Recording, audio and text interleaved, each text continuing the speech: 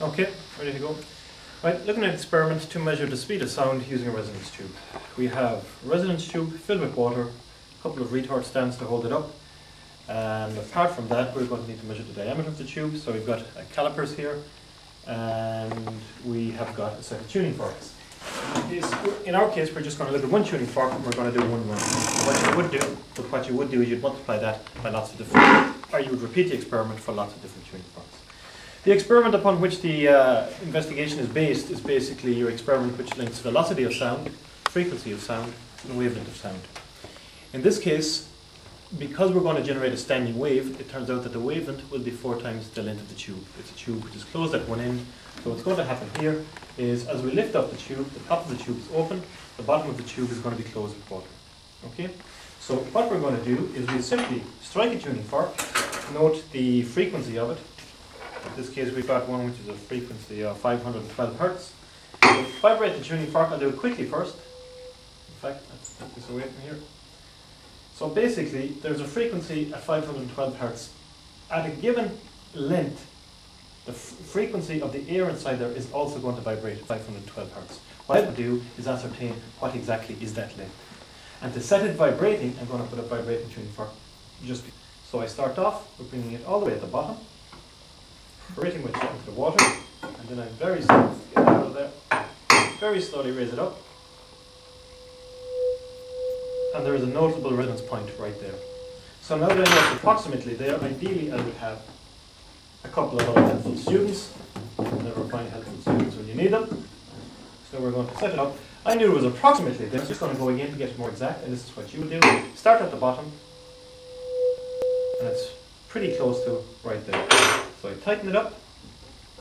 Now, that is therefore vibrating at a frequency of 512 hertz. I need to know what length that is, so I come along with a meter stick and measure length. And it's a little bit awkward, so my meter stick is turned away from you, but you're just going to have to take my word on this when I say it's about 15 and a half centimeters.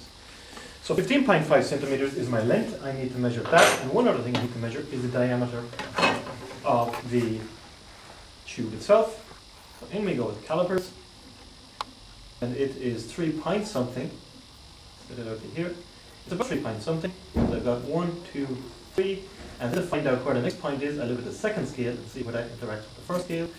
Take it out here. Once again, take my word, it's about 3.3 centimeters. So now I've got all my measurements and I can use my formula to ascertain the speed of sound. I've a rough, uh, I've this done roughly already. Basic formula C equals F lambda. For a standing wave, the wavelength is four times the length of the tube. But because the diameter of the tube is also a factor, you have to take that into account, and we call it a correction term. And the wavelength is actually four times the length plus 0.3 times the diameter. So you put all that in together, and your speed of sound is four times the frequency from here, and then the wavelength is L plus 0.3 times the diameter. In my case, we measured it here. Diameter was 3.3 centimeters, which is 0.033 meters. The frequency of my tuning fork was 512 hertz. That was therefore also the frequency at which the tube was vibrating at that length. Uh, the length then I found out was 15 centimeters or 0.155 meters. And now all I do is put that into a formula. Uh, so it's 4 times my frequency, which is 512. My length is 0.155 plus 0.3 times the diameter, which was 0.033.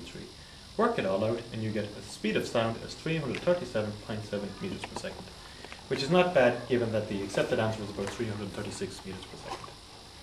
That's pretty much all there is to the experiment. You would now repeat that three or four different times. In fact, ideally six or seven times. You take a separate tuning fork. So let's very quickly do a separate tuning fork. This was the one we had at 512 hertz. If I take this away and just see what does happen if I use a second tuning fork, you could look at the formula and prove to yourself that frequency here is inversely proportional to the length.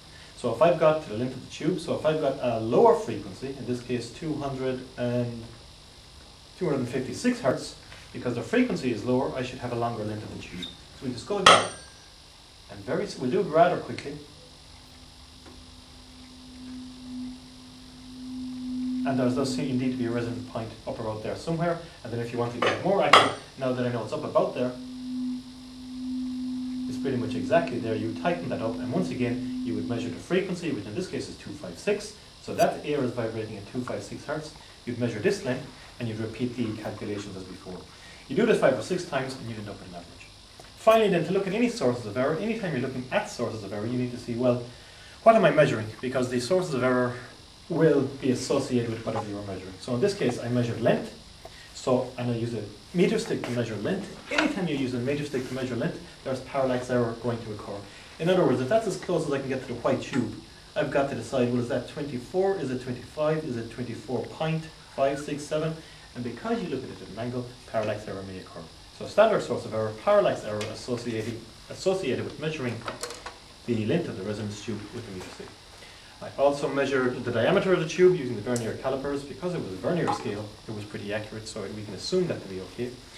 Another potential source of error is this tuning fork, which says five, which says in this case 256 hertz.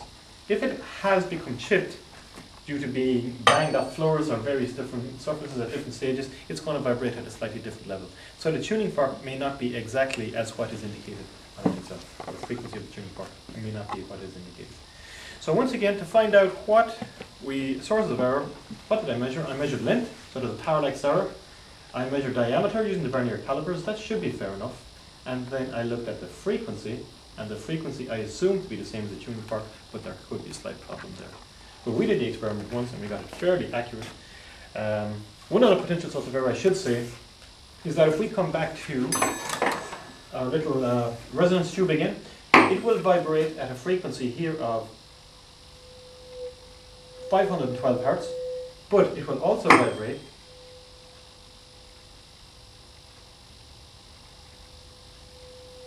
at a frequency twice that, just up there. So what you've got to be careful is that you start at the bottom and get its fundamental frequency. So you work from the bottom upwards. That's pretty much it. We're done.